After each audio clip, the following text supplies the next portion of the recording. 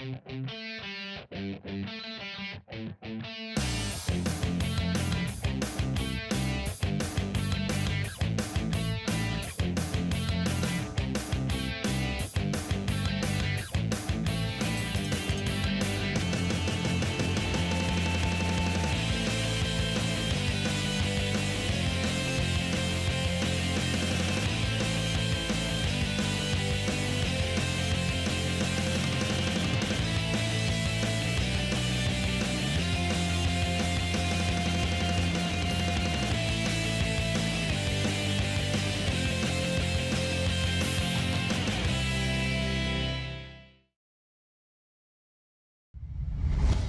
Magandang araw. Oras na para sa pinakabagong balita sa lagay ng panahon at sa mundo ng science and technology.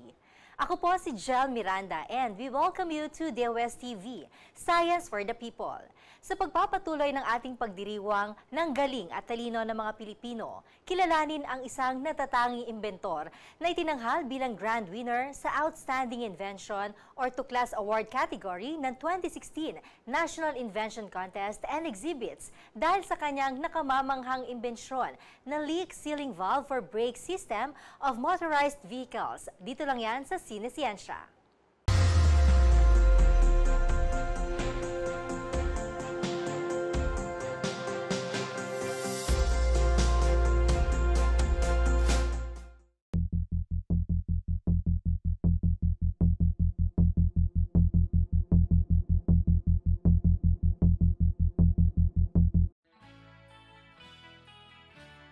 Ako po si Melchor Henyosa na dati pong driver sa El Joda Transport. Bumibiyahe po ng Siniloan Santa Cruz.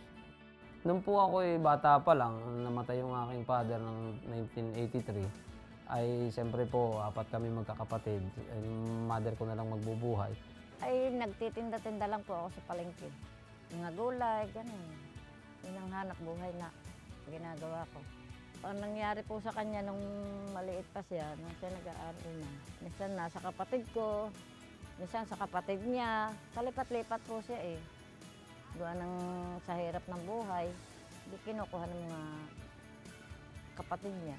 Siguro po yung nakabuo sa kanyang pagkatao yung palipat-lipat niya. Parang nag-anong isip niya eh, naging matured.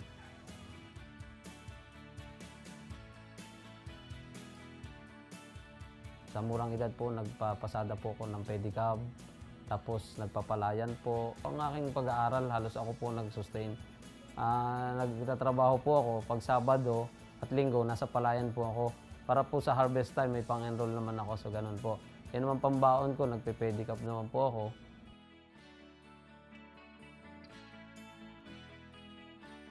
Yung lifestyle ko po kasi noon, ay ako po hindi ako mahilig yung mga barkada-barkada na maraming barkada. Lagi po akong nagsosolo lang, mga muron mga kaibigan ko po matatanda. Kaya yung mga payo nila, yung mga ideas, parang nag-mature agad po yung isipan ko. Tapos lagi nilang tinuturuan na ma- mag-aral ako ng alamin ko mga trabaho. Kaya po nag-start din maging makutingting din. Siguro built-in din po sa akin na malikot ang isip. So ganun po, marami po siya akong kahiligan ko dyan. Lagi akong mag-experiment din ng iba-ibang mga bagay pa. Nang 1998, nang nakilala ko si Melchor Reynosa, hindi pa siya driver, jeepney driver. At siya noon ay nagta-tricycle pa lang. At sa amin na halos siya natuto magmaneho ng jeep. Mabait na bata yan si Mel, masunurin. Parang naging kapatid ko siya, parang ganun yung naging turingan namin.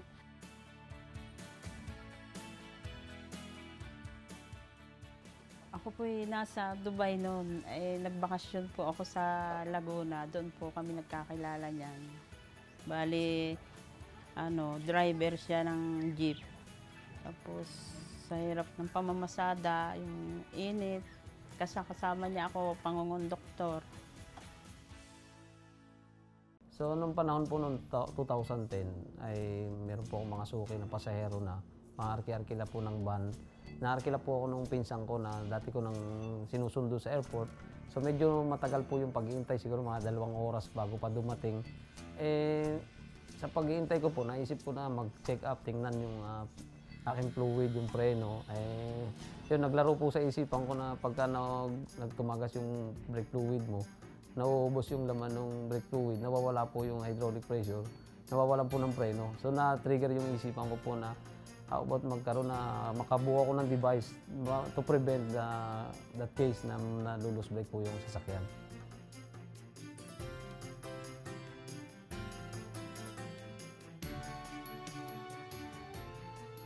Ang unang-unang nakaalam sa pamilya ko ay walang iba kundi ang asawa ko kasi nung ini-sketch ko siya, eh siya mismo ang nakapanood habang ginagawa ko yung sketch ng brake light ceiling valve.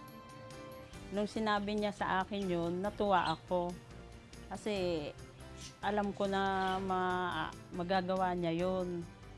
Kaya sabi ko, sige, pagpatuloy mo yung iyong yan, sabi ko, baka di yan tayo gaganda ang buhay. Sabi ko ganun. Sabi niya, ang problema ko lang, financial. Sabi niya ganun.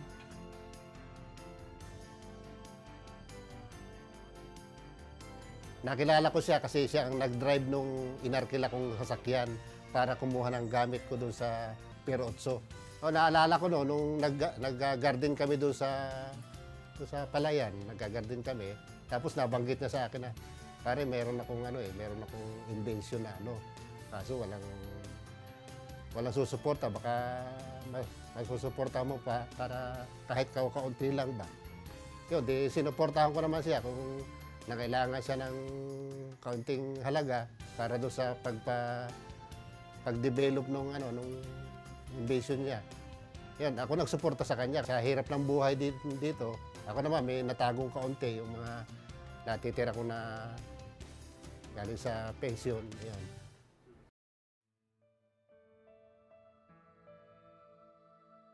Unang-una, kaya ako nagduda sa kanya, hindi naman siya nakatapos pag-aaral at wala naman siyang kakayahan para mag-develop talaga ng kanyang invention. Kaya hindi talaga kami naniniwala. Masakit kasi walang naniniwala sa kanya. Tapos siya daw ay ano yung mayabang ganun. Sabi ko, yaan mo. Sabi ko, manalik ka lang. Sabi ko, gano'n. Sabi ko, sa Panginoon ka kumapit. Sabi ko, ako naniniwala sa iyo. Ang daming nagsasabing ganun doon sa balian. Na tinatawanan niyan, hambog naman yan, sabi nila. Sabi ko, wag mo silang pakinggan. Sabi ko ganun, yaan mo sila. Kung hindi maniwala sa iyo, basta yung paniwalaan mo yun, sarili mo. Sabi ko, um, ayun, pinagpatuloy-tuloy nga niya.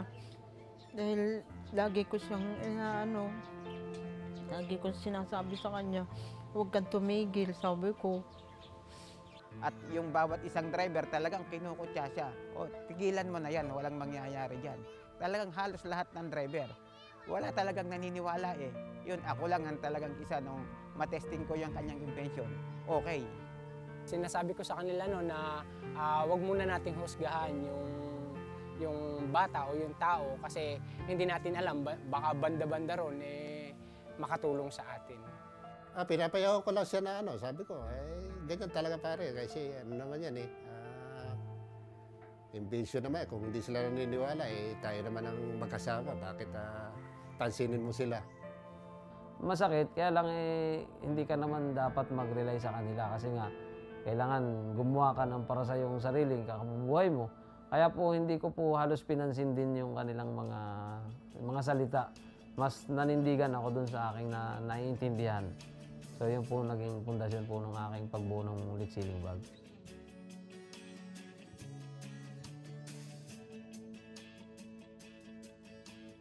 Si Ginoong Melchor Henyosa po ay unang lumapit sa MIRDC o Metals Industry Research and Development Center na under din po ng DOST. Ang MIRDC po ang nag-refer sa kanya sa TAPI. Ang MIRDC po, sila po yung sa more on technical side kasi sila po yung Research and Development Center talaga. So tinulungan po siya in terms of design. Ang TAPI naman po sa pagko-commercialize na halos kasi tapos na po yung R&D na part niya. So dun sa prototype, tinulungan na namin siya mag-produce ng commercial prototype. Ah, kailangan na lang po niya ng mga financial assistance basically para dun sa pagpoproduce ng kanyang product.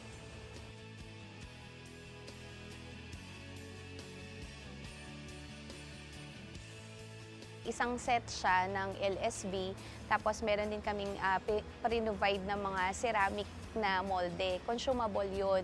Kasi para natin ma-perfect ang isang technology, kailangan ng trial and error. Humingi rin siya ng tulong sa amin sa pilot production. Kasi nung time na yun, uh, medyo mahal yung presyo ng leak sealing valve uh, mataas yung labor cost niya, mataas yung materials niya. Kasi kapag pinuproduce niya siya, uh, pira-piraso lang, hindi siya for mass production. So kahit nagko-commercialize na si Mr. Henyosa, marami pa rin nakita na kailangang baguhin or ayusin dun sa kanyang LSP. Po, ang brake leak sealing valve, napakarami po niyang uh, standard accessories. Bago po siya mabuo, bawat, bawat O-ring, oil seal, ay hinanap ko pa po bawat supplier niyan.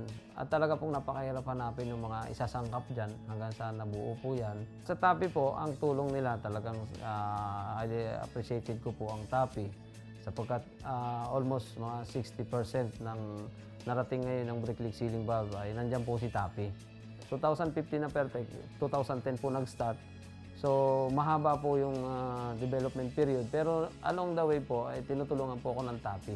So, itong NICE, yung National Invention Contest and Exhibit, uh, siya ay ginanap nung last week of July 2016 sa SMX Mall of Asia, Pasay City. Nung time na ito, nung sumali si Mr. Henyosa, ang naaalala ko, uh, medyo hindi, hindi siya ganun ka-focus eh. Dahil nung time na yon at nasa ospital yung misis niya para ipanganak yung bunso niya, yung bunso niyang anak. Pero during the interview ng mga ng panel of judges, nasagot naman niya lahat ng mga questions na ibinato sa kanya ng mga judges. Ang dami nga nila laban-laban dun eh. Na ng mga inventor ay sabi ko, bakit hindi ka tinatawag? Sabi ko gano'n na halos matatapos na eh. Eh, pabayaalan niyo nanay, sabing gano'n. Ayo, man, itong panghuli, nung siya nang tawagin, aba talaga ako'y lundag. ako'y tuluan luha talaga nung tawagin na yan. Yan pala ang first nun. Nakaka-overwhelm lang talagang uh, sa pangyayaring ito ay parang may himala, himala din kasi nga sa kagaya ko naman po na driver ay nakasolve lang po ako ng isang device na mag-solve uh, sa loose brake accident ay ito nagpapasalamat ako napakalaking uh, karangalan para sa akin at naka, nanalo po yung aking league ceiling valve.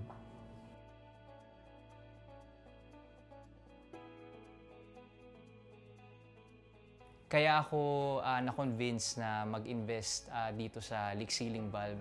Um, alam naman natin dito sa Pilipinas ang pinaka mode of transportation ng uh, mga Pilipino, um, pinakamarami talaga is, ano, is jeep.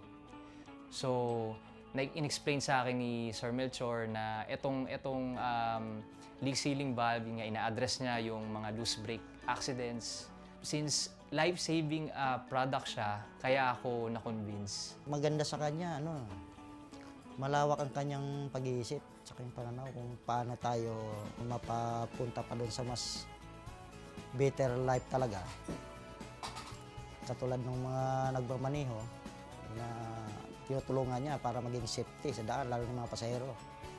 Nag-finance po ang TAPI para sa 160 pieces na brake leak sealing valve to produce. Tapos po, nag-funds din sila para sa aking molde na two cavities. At sa ngayon po nga, ongoing po yung, uh, yung pong 160, nabuo ko na po yun. Naikabit na rin po, na-distribute na. Then yung molde naman po, ongoing kasi meron po akong molde na exit ang leak sealing valve, yan talaga ang tinitingnan namin magiging main product namin. Kasi based sa aming pag-aaral, talagang napakaganda kasi nito. So most probably may mga plano kayong magdagdag ng mga makina para makita namin ang market. Si Mr. Henyosa kasi, dun sa pakikitungo namin sa kanya, ang napansin ko sa kanya, matyaga siya at hindi siya tumitigil sa isang bagay hanggat hindi niya nakukuha yung gusto niya. Sa amin, on our part, syempre, uh, excited din kami, masaya din kami para sa kanya kasi alam nga namin yung mga, yung mga pinagdaanan niya. Maliban dun sa pagiging matyaga niya, hindi siya mabilis na masiraan ng, ng loob. No? So matatag yung kalooban niya, lalo na nag-start siya as uh, jeepney driver Pag nakakabit po na po itong ating brake leak sealing valve, itong sasakyan na po na ito ay protected na po para sa loose brake accident. Pag ah, yan po ay nagloko po yung kanyang preno, meron po siyang ah, just consider na check valve. Yung depletion of fluid, mapipigilan po yan. Then pump again your brake pedal. Titigil po kasi may tatlong ah, damage wheels brake which is very very powerful to control the vehicle. So masasave natin yung sasakyan, ah, wala tayong madadamay, makaka diretso po yung pag-deliver ko, whatever kung ano pang dinideliver nitong sasakyan na to.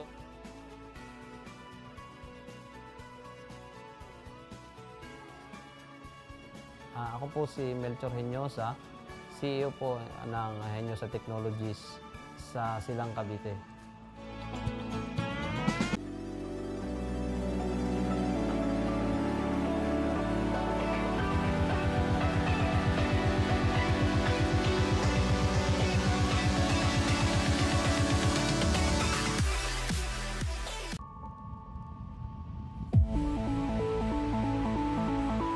Uh, good morning sa inyong lahat at uh, ako si uh, Nico Peñaranda para magbigay ng uh, ating uh, latest update tu- tungkol kay Tropical Storm Odette. So uh, kagabi uh, as of uh, mga 8 p.m. itong si uh, Tropical Depression Odette ay naging uh, isang tropical storm. And then nag-intensify din ito slightly uh, early this morning. So um, while traversing itong area ng north along the northern coast o sa mga hilagang baybayin ng northern Luzon. So ah, kaninang umaga, ah, the center of Odette o yung sentro po ng bagyong Odette ay nasa vicinity ng Kalanasan, Apayao. So yun po yung sa may ah, northern slopes ng Cordillera, kaya naman ah, may nakita natin na inuulan po yung areas doon. And then lumakas po ito 75 kilometers per hour malapit sa gitna at may pagbugso or gustiness na umaabot sa 120 kilometers per hour. At ah, kumikilos po ito slightly ah, pa west-southwest at 24 kilometers per hour. So ito po yung latest image ni Odette. So nakikita natin na um, mostly naapektuhan nga nito yung extreme northern Luzon and yung mga kabundukan. And then Ah, pagdating kasi nito sa may west coast ng Northern Luzon, ah, yung mga outer rain bands na o yung mga kaulapan niya ay makakaapekto na dito naman sa western sections ng ah, ah, Northern Luzon. So of course, um, hindi magandang kombinasyon po yung bundok at ah, ah, tama ng hangin kasi pag tumama po yung hangin, na-enhance po ng bundok yung ah, mga pagbuo ng mga ulap na pwede po magdala ng mga ulan. So ini in, inaasahan natin uh, uh, later today so ay um, magiging maulan naman dito sa western part ng uh, uh, northern Luzon. So meron na po tayong uh, nakikitang uh, uh, senyales na nangyari po 'yan. At uh, okay, tingnan naman natin yung track. So um, in addition po doon, um, makikita kasi natin, uh, mostly kasi dahil wala nang habagat, tuyo yung hangin na nahihilian niya, kaya naman uh, hindi masyadong maulan sa southern Luzon kahapon sa ngayon. Mostly po kasi yung mga ulan dito na sa norte dahil yung hangin natin easterly na. Uh, dahil transition period na po tayo. So ang mangyayari po, pag umandar na po dito ng konti yung bagyo, palabas ng uh, landmass ng uh, Luzon, uh, may induce naman yung kaulapan dito sa western section ng Luzon. Nagsisimula na po dito sa may uh, western section ng uh, uh, Mimaropa. So yung northern Palawan saka uh, occidental Mindoro may mga paulan.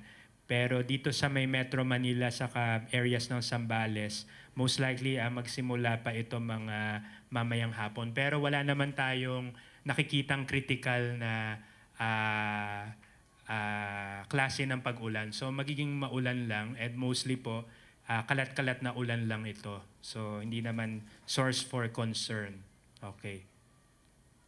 So ito yung uh, papakita ko po yung image uh, sequence ng images, ilang images nung naglandfall uh, sa konteksto so mahirap po maintindihan yung radar. Ito po yung mga nak- nakuha ng radar na mga ulan, ulap na may dalang ulan. So yung itong kurbada na to nandito po yung sentro ng bagyo kagabi. So mga alas 12 po ito. And then sa sunod na sequence, sa sunod, kita po natin meron pong bilog dito. Ito po yung ah, Santa Ana, Cagayan. So yung area na to, Cape, ah, ah, meron po ditong Cape o yung nakausling bahagi ng ah, kalupaan ng Northern Luzon. So ah, Opo, dito po area, ah, banda dito Palawig Island. Ito po Santa Ana, ah, bayan ng Santa Ana. Ito po yung sentro ni ah, Odette kagabi o kaninang madaling araw. So pag makita natin, ayan po. So sa sunod na frame, nakita natin ito na yung sentro niya. So ito po yung mga kurbada ng mga kaulapan niya.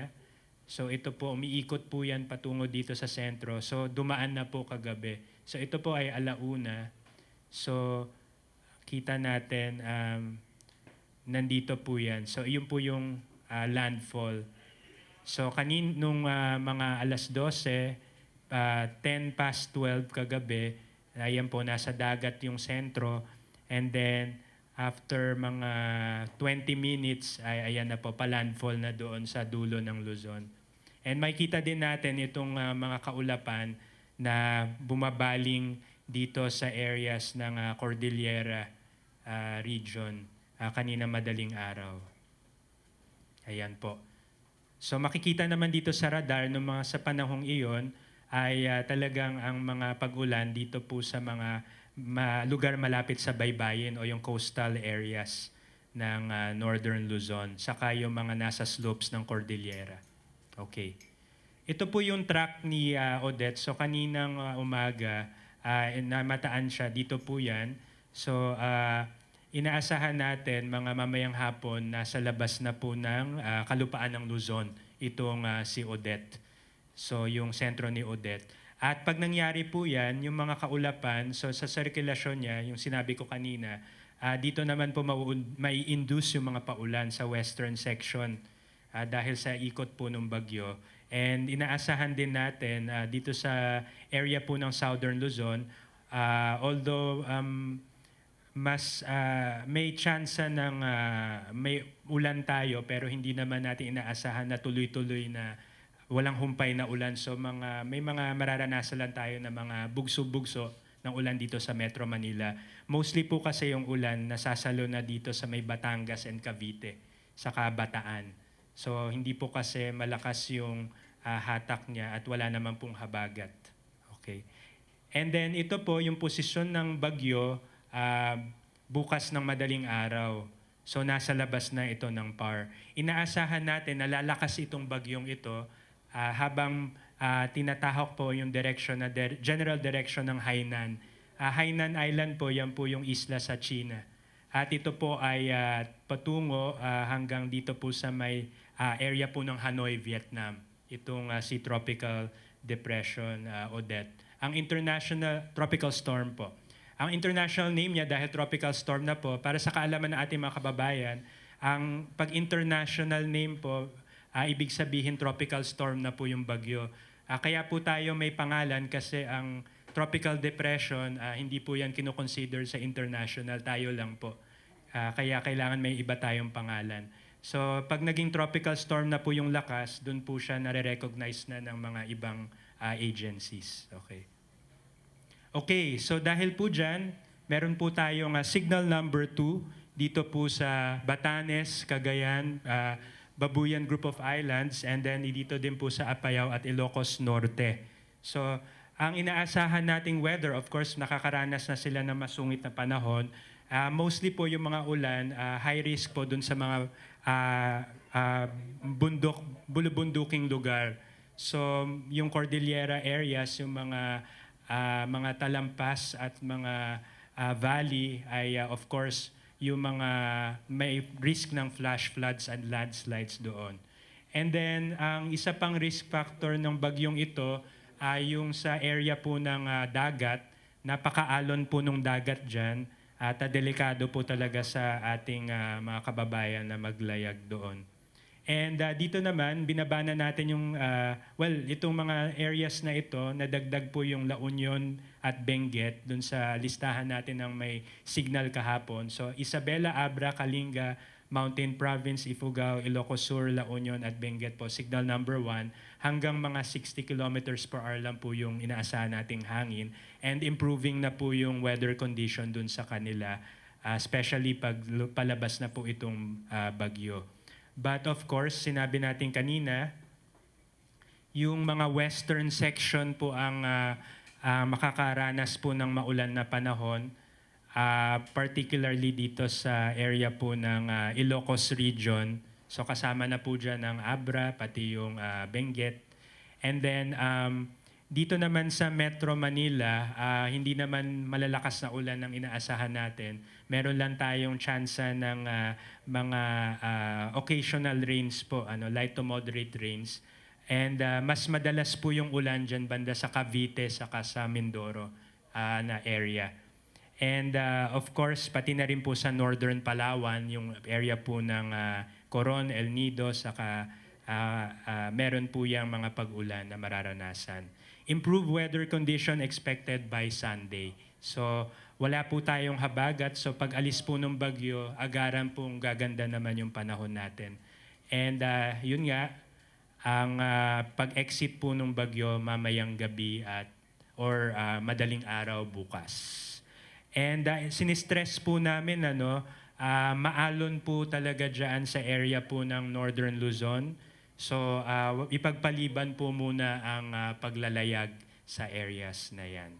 Yan po ang ating latest weather um, update sa sa ngayong umaga. Maraming salamat. DOS-TV would like to thank Filipino Creazione de Mano Incorporated. Visit their showroom at ground floor lobby, PSM BFI Building, 318 Santolan Road, West Crame, San Juan City. SciDev, the world's leading source of reliable and authoritative news, views, and analysis on information about science and technology for global development. Visit their website at www.scidev.net. And that's it for today. For more information, just log on to www.dostv.ph and visit our social media accounts. Abangan din ang update sa lagay ng panahon mula sa DOST Pag-asa tuwing alas 5 ng umaga at alas 5 ng hapon. Always remember, in progress, science is the key. Kaya sabay-sabay tayong makiisa at gamitin ang siyensya. Kami ang DOSTV, the program that delivers science for the people.